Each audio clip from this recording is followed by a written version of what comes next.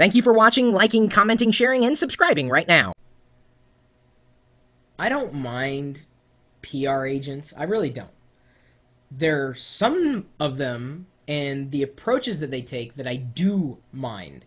And as someone who is considered a blogger, although I've been publishing on the web for a lot longer than, well, blogging was a word, uh, you know, there's there's a fine line that a lot of PR public relations agents uh, don't realize is there, and I'm now being asked by a, a journalist to give my thoughts about PR and their direct role within the blogging community. The question is is it reasonable for PRs to target the blogging community? And to say the blogging community um, is there, it's accurate, but a blog isn't a community. And I don't know if there's a general blogging community. There are subsets of types of blogs and genres, and they themselves are communities. Um, and the people who write uh, for these communities or within these communities are bloggers, uh, or they have a blog. Uh, the bottom line is, is I am not a journalist. I'm a columnist. I write a, co- a monthly column for CPU Magazine. Uh, I'm a videocaster, so I stream live video at live.pirillo.com, publish on YouTube, top 70, most subscribed all time.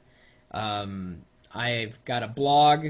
I help other people blog. I don't know what I am, but the one thing I'm not is a, a full-on media agency. I'm not a publication, so to speak. I, I am just a, a, someone who enjoys technology, uh, and apparently with about almost 600 people watching live right now, there are a few others who would, uh, um, I guess, be of a similar mind. So instead of responding by text, I thought I'd respond in video format and answer this question uh, broadly because, well, even if I responded by email and if it was very, very long, the journalist would likely only take like one sentence out of that if he took anything. And I wanted to just bring this up as a discussion point with other bloggers who are out there. So if you're blogging, pay attention because I want to hear your feedback on uh, this particular topic. I think it's reasonable for PR folk to contact bloggers or people who are just, you know, writing on the web without going through any official outlet uh, and define official outlet. I don't know. There's a lot of gray area here, uh, but I think the bottom line is, is bloggers are just doing it because they want to do it, not because they're necessarily getting paid to do it. I think it's reasonable with these five things in mind. Number one, be transparent and expect transparency in return. So don't email us pretending that you're someone you're not uh, don't email us saying, "Hey, I've been reading your blog, and uh, you know, I thought I, you were mentioning this, and I thought you'd be interested in this site. It's really cool. I just started using it last week." When in fact, a you didn't, and b you are paid representative of that particular company. It's okay for you to say, "Hey, I you know I just ran across your blog. I was reading this. I'm an I'm, I'm a PR agent for this website. Um, you know, you might want to take a look. You know, not you just see this is this is why and I just wanted to spread the word about it. The likelihood, however, of me personally posting that as a follow up or whatever is very slim. And the likelihood of you posting that as a comment in that post and me moderating that comment and passing it through is also very slim. Um, but the bottom line is is that if you're not transparent about it, uh, number one, I'm going to remember you, and number two, I'm going to blog about that. I'm going to blog about the fact that you were not transparent about who you were and what you were doing. And then, of course, um, number two, don't ask for links. And that I think is it, it's rude, you know, to come and give some something to somebody and say, "Hey, we're doing this new story. You want to link to it?" And, and you're here. This is all you got to do is just link to this, and you'll be fine. And, and this will be great. Whatever the pitch is, you know, if I'm interested, yeah, I'll talk about it. If I'm not, and 99.999% of the time I'm not, uh, I'm just not that kind of blogger. Uh, it's just it. I've got too much going on. I'm not a, a, a true press release related, uh, you know, oriented blogger. Um, that is key. When you ask for links, you are going too far. Number three, be proactive with review units or copies. The just about the only way to get me to talk about something or write about something is to put it in my hand. Whether that's sending me a review code, if it's a piece of software, uh, or whether that's sending me a, an actual product. You know, it's not. There are some products that I will go out and buy and talk about, and then there are other products that you know I will ask to review, uh, and there are other products that kind of get sent to me. They just say, "Hey, you know, if you like it, cool. Not, no big deal. Let us know your thoughts." And that's kind of goes back to the issue of transparency or linking. If you send me a product to review, or if I ask for a review copy and the review is not positive, is that my fault? I mean, if I'm being honest and direct and, you know, being a blogger, is it my fault if your product or service sucks? No. Uh, should you be admonished uh, as a PR agent for uh, generating that kind of press? No. If your job, if your responsibility was to attract attention to a product, uh, you've done your job. You know, at that point, you can only hope for the best. But it, it kind of comes down to if your product or service sucks, it doesn't matter how much you're paying your PR agency. Your product or service still sucks, okay? Okay? And I, I hope you know that. Just, not like I haven't run into that issue before. You can't, you, you just can't, you can't cover up that kind of junk. You just can't. Number four, but the, the, the, bottom line for that one is being proactive about it. Don't make me fish for something, and then even if I do fish for it, don't make it such a kludge to get a hold of. That's that's a big turnoff, especially if you're looking for coverage or if you initiated communication in the first place. Big turnoff. Number four, know who they are and why they matter. Kind of goes back to you know number one being transparent, because if you send me an email saying, "Hey, I've been reading your blog," and then you send me a link that is only related to like maybe one post that I made, um, I'm like, okay, you haven't read my blog. It's pretty darn obvious. Now, if you start mentioning obscure details about my life and like things that only someone who had been reading my blog would know about, uh, then I'd be more inclined to believe you. So I'm not going to give away any, you know, personal secrets necessarily to anybody who's listening to this, but I, I think you know what I mean. You know when you're getting a snow job, and if you send me a link to something that I'm just not eh, this is not my forte. It's not what I'm interested in.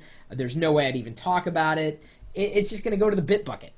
Uh, conversely, like I said, some of the things that have come from me doing videos, sometimes a product will show up on my doorstep, whether it's a game, uh, whether it's hardware, which I love, whether it's software, it'll just show up, and then I'm like, oh, cool, okay, so I've got it sitting here. I'll have a great, there'll be a greater chance of me taking a look rather than just getting flooded in my inbox, saying it's a pain in the neck to chase anything down people who know me know that those are the things I'm interested in. Uh, if a PR agency sent me like uh, I don't know crocheting needles, it's never happened, uh, but I'd be like, uh, okay, because I'm a blogger. That, that makes no sense. I mean, I'm not saying that I don't have an audience that has crocheting people in it, but I'm just saying if you do not know the blogger you're going for the person you're talking about, and two, uh, why are you even bothering? You've got to know more about them than they know about you. You have to do your your do your research. I mean, the first thing when anybody sends me a link to a name or a domain name, the first thing I do, the first thing I do is go to Google. Who is this person? What have they done? What are people saying? Where are they active? Are they are they for real? You know, I check, trust me, I check names. Believe it or not, I do that. Because you just, you want to know as much about someone else when you're communicating with them. And it's certainly, if it's your job, dude, Google is right there. And the worst thing you could do is say this to me I didn't know how to get a hold of you. My God. I give out my email address in all thousand plus videos I have on YouTube. Well, just about every one of them, at least the recent ones. I'm the first Chris on Google. I'm on Twitter with like 5,000 followers. It's not like I can't be. I put my email address right there on the website. It's like you have to try to not find me. So don't give me that, you know, right off the bat, because then I know you're definitely uh, someone who is not a very good PR agent part of PR is knowing the the uh, the relations and the relationships. And by the way, as some as just a, me, I'd rather get to know someone for who they are, not where they work, who they work for. um, because you never know if they're going to work there forever. And I want to develop more personal relationships with people. It's just the kind of guy I am, even with in professional circles. You know, the more I know, the better I can communicate and the more open I am about, you know, giving you direct and, and, candid feedback about the things that you may be doing. Number five, and I'm going to take the Twitter approach with this now that I brought it up. Keep it short and sweet. No press releases. I mean, I look at press releases, I'm like, eh, delete. Scan, delete. Usually, if it's a hardware press release, they don't want to send you a review unit, delete. Um, software, if they didn't offer a review code, delete it's just I get so much delete, delete. If you cannot give me what it is, what you're going for, how you can help, etc., in 140 characters or less, that's not my fault. Maybe you should post your press releases on Twitter. Guarantee a lot more people would probably pay attention to them that way. That's for darn sure. Don't expect to be an outsider and understand the inside track.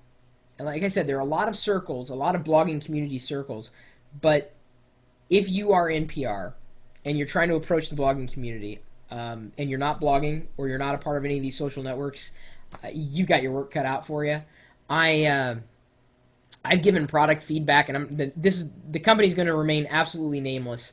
They're probably never even going to see this video, but it's a big company, and it's not anyone that anybody here would guess. Um, I gave them valid feedback, candid feedback privately about their product and how they could improve it and why they shouldn't launch it until these things were ready. And I was labeled as uh, someone who should not be communicated with again. I wasn't rude about it. I talked directly to the engineers. I gave them, you know, precise uh, examples. I was, I was very adamant, but not negative, and I was colored that way. So what's the likelihood of me ever wanting to, you know, do anything with that company again? Well, if they're even going to reach out to me. But it gets worse. The person that they hired to be their blogging liaison wasn't a blogger. They already had someone at the company who's a well known blogger, and that person didn't get the position this other person did. So I I really don't eh, you know I'd rather get to know you for who you are and if you happen to be a PR agent, great. That's kind of a side benefit, but dude, uh don't I, I I'm not going to say PR is dead, but geez, man. I you know, you guys does that can am I relating to anybody there? Seriously? I mean, people get hired for positions to talk about things that they don't care about. They're not passionate about these products. They're hired to be passionate about these products. You can't hire a customer evangelist. They just are an evangelist. That's you can't they either are or they're not. If it's in their title, they're probably not what's in their title. Especially if the word evangelist is in there. I I really don't place a lot of uh, faith in titles for that very reason. Um, and I realize that this is you know kind of a pontificating video, but it's it's a big issue. It's not it's not just me. There are a lot of bloggers out there. You may be blogging. Uh, you may be blogging just about anywhere, and that brings me to it's kind of a final point just to kind of wrap it up, especially to PR agents who are all about getting big press and major press because that gets attention. I hate to tell you, and I, I not to diminish everything that I've done because it's been very important uh, for me, and as well as for the rest of the people who follow me, my community, this general tech community. But audience size, it's it's important because of course you're dealing with numbers, but it doesn't matter as much anymore. We've got a democratization of content. It if you've written something good and, a, and it, that message resonates with other people who discover it for, through a variety of ways, whether it's on a social bookmarking service or, or what have you, then did it matter that they only had maybe three subscribers to their RSS feed? Eh, you know, sure, going after someone who's got a large audience size, there's a greater opportunity of more people finding out about what you do, but that doesn't mean they should be your only target. As a PR agent, you have to treat everybody, everybody, and every blogger as if they were Michael Arrington from TechCrunch as if they are Robert Scoble, as if they were you name the A-list blogger, okay? Especially in the world of, of tech or just any industry, really. It, it applies to every industry. If you are, you know, hell bent on getting the big press, yeah, that's good. I mean, hey, press is press. You know, I I can't argue with that. Coverage is coverage, but don't ignore someone you don't know at your own peril, or you do or don't do it. Otherwise, you're doing it at your own peril. Sorry, doing a little self editing there. Um, you never know who you're talking to. You never know who's going to be in the room. And I tell you, uh, since Twitter and doing the live video feed, uh, a lot of people have learned more about me than they ever wanted to know, and that's opened up so many doors, so many doors and opportunities for me. Uh, I'm my own PR agent in the sense that I just look at what I think is interesting, and other people, if they like it, they do. If they don't, they don't. I'm passionate about the things I'm interested in. Everybody is, no matter what it is. And you have to understand that as a blogger, we're passionate. As a videocaster, as someone who posts videos to YouTube and whatnot, we are passionate about the things that we're interested in. That has to factor into the equation. Press releases are not aimed at people who are passionate. They're aimed at people who are used to reprinting.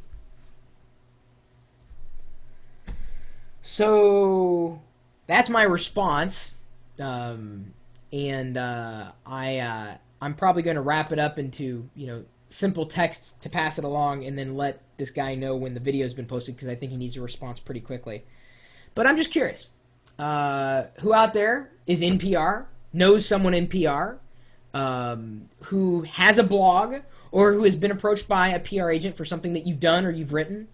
Uh, I'm just interested. I mean, you never know when you publish. In fact, uh, one of the uh, uh, one of the bloggers, Kat, just told me one of the bloggers on LockerGnome.com had written a political article that uh, in a like a, a press agency is going to pay her to do.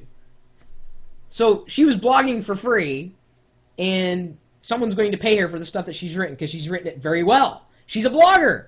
She's not getting paid directly for this stuff. She's doing it because she's passionate. She's got ideas that she wants to share. It's, it just takes it flies in the face of PR and spin. There you can spin it as much as you want to spin it. If it if it if it doesn't fit, you must acquit. I mean that's I guess you should just leave it there. Anyway, my email address is chris at Pirillo.com. Please, no pitches. Don't ask me to link. Don't ask me. Don't ask. Don't ask. I'll give, but just don't ask. Don't ask. Don't ask. Unless you've got something to offer back. And even then, that's questionable. You're also welcome to join us in our chat room, uh, where we're typically talking tech. Every once in a while, people will see a product float across my desk and they'll ask me. All 600 will ask me. Well, at least the people who are watching live will ask me, What is it? Where'd you get it? That's PR. That's PR you just can't pay for. See, and now don't you wish. Uh, I'm looking for something that I've got on my desk. But everything I've got on my desk I've bought. Hmm. Well, anyway, uh, if you want to join us in our live chat community with the video streaming thing, we're doing it 24 hours a day. Even if I'm not here, other people certainly are, and uh, you can get a feel for the flavor of our geeky community. Always talking about hardware, software, internet tips, tricks, products to make our lives better, services that will help us do the things that we want to do as human beings. You name it. But the only place to find us is at live.pirillo.com. We'll see you later.